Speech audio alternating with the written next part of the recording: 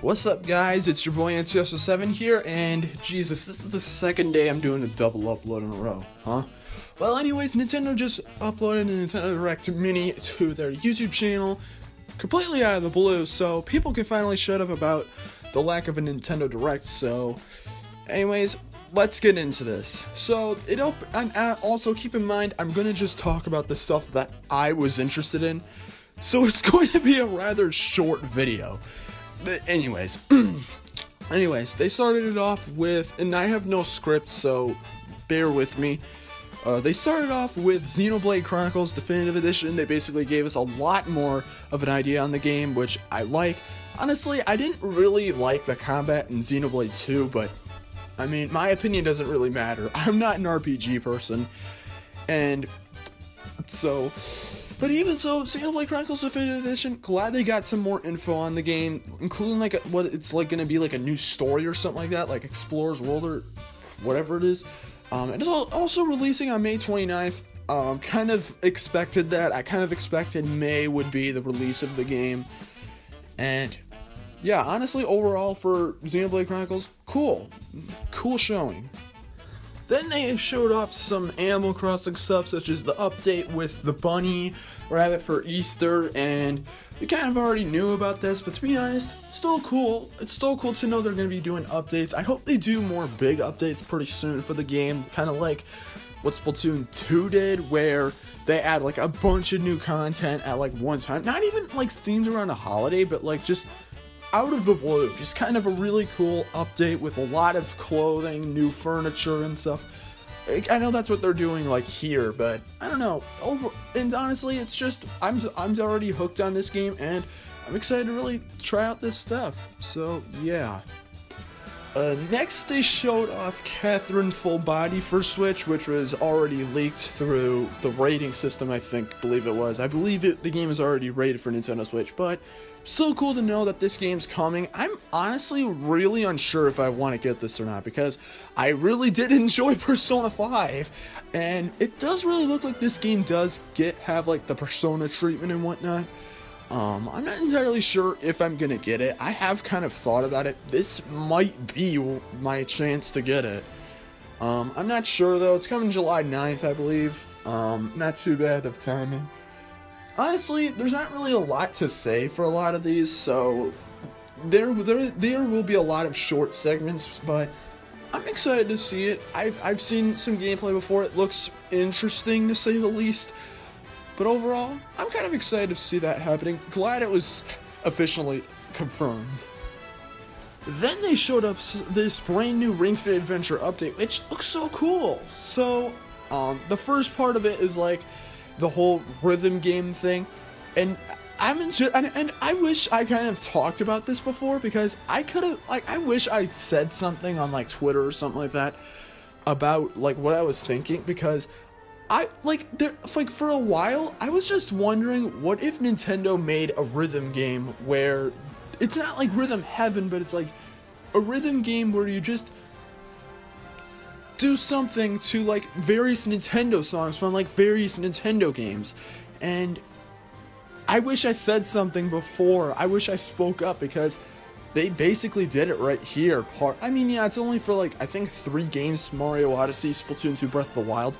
But I wish I said something because that right there could have really counted as an actual prediction. I kind of thought something like that. I kind of thought of something like that and I thought it would be cool, but honestly, really cool to see. Um, looks really hard too.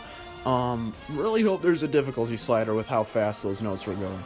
And they also showed off some more jogging exercises, which is of course cool. Ring Fit Adventure is such a cool game, and honestly, this might definitely pick me up to play the game more and more. And also, if you're wondering where the hell my review of the game is, I, I'll make a review soon enough. I just haven't played enough of it, but this might do it. This might make me actually get out of my bed and actually do something for once, especially during this time as well during this whole quarantine. So overall, the Ring Fit Adventure part was really cool. I honestly, I'm excited to even try it out later today as well. So that's really cool. Next was a little bit more interesting. Uh, they didn't necessarily like they basically said like we're building it up to like a like this thing to a new Smash Brothers character for Volume Six, I believe it is, or well, no, not Volume Six, uh, Challenger Pack Six. I don't have the script, so I'm sorry. And but they didn't really say which character it's going to be. They basically said it's going to be a character from Arms, and that it's going to be releasing in June, and that they'll be having new information soon. Honestly, I'm completely fine with this. Um, I when it came to Byleth, we've already had so much Fire Emblem representation in Smash Brothers that I. I mean, it was so much. I didn't really feel like we needed it. And that's why we felt more underwhelming. But with arms, I mean, there is a Springman Assist trophy, which does make me wonder which character they're going to be bringing over. Uh, and there's a good amount of like um, arms spirits in the game. I think of the like Ribbon Girl and like other characters. But I know not. But I don't think every single arms character has a spirit in the game. But um, really cool. I- I'm kind of excited to see it. They didn't even put the arms main theme in Smash Brothers, anyways, in like the song like playlist from what I know, which I don't know. Honestly, I'm kind of excited to see Arms characters. I don't know necessarily which one it will be. I don't think it's going to be Springman, considering, again, he's an assist trophy. Very, very strange. Unless they change Springman into like a character or something like that. To be, which, to be honest, please don't do that, Nintendo, because then at that point, then people will then so many people are gonna just say that Waluigi's possible. Please. I'm gonna assume it might be Helix or Springtron because Springtron is like a Sp- Springman clone, so I mean it could probably work. But I also feel like Helix was one of the more interesting characters and probably one of my personal favorite characters to play as in ARMS just because of how cool he looked and played. I don't know. Really, interested in seeing what they're going to do. Maybe it'll even be Max Brass. I don't know. Coming out in June makes sense considering I did I do believe that they actually are pushing the Fighters Pass back. So overall, I wish they actually revealed just like they didn't even have to show us a move set or anything. I think just saying which character was going to be would go a long way. I would be completely fine with that. But overall, I'm excited. Unlike the Byleth character, which just kind of irritated me. And even to this day, it kind of still does, even though I have been maining her. I'm excited to see what's up next for the Smash Bros. game. Whatever. And that's basically all I can really talk about. Honestly, that's all the stuff I was interested in. They also showed off like the Pokemon Sword and Shield expansion pass, which I don't really care much about because uh, they also showed off Bravely Default too, but I'm not really that big into RPGs unless it starts with a P and ends with Ursona. If it's not that, then I don't really care about many RPGs. So that pretty much wraps up my thoughts on the individual stuff. How did I think the Nintendo Direct was as a whole? Well, it was fine. I'm kind of I am glad that they did give us some more info on some stuff. They they did have some good stuff, but the problem is that a lot of this stuff was stuff we already knew. Like the Catherine Full Body, we already knew about that, and even stuff like the Bioshock collection and like Borderlands collection. I think we all I think we already knew about those. So I don't really know why they had such a long segment on that. We already know about the Sword and Shield expansion pass.